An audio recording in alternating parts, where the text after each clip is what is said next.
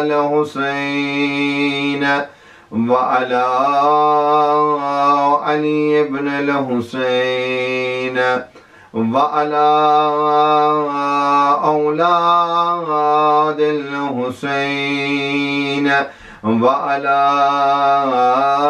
أصحاب الحسين.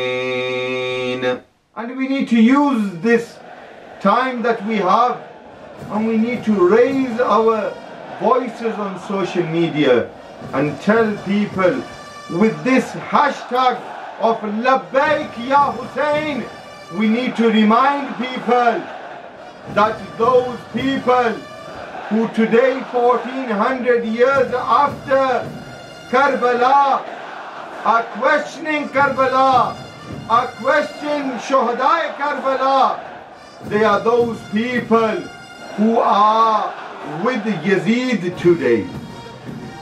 Because until the day of judgment, Hussein and Husseiniyyat will be Zindabad and Yazid and Yazidiyat will be Murdabad.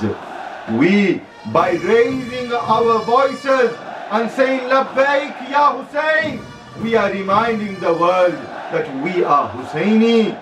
Our blood is Husseini.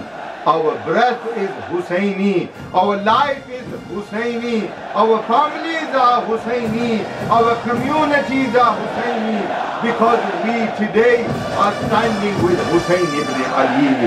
With the loudest of your voices.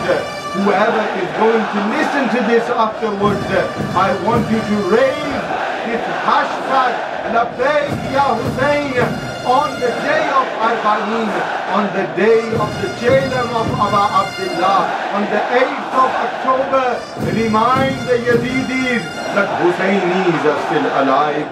We will protect Husseiniyyat with our lives. We will continue to do the Majlis of Aba Abdullah.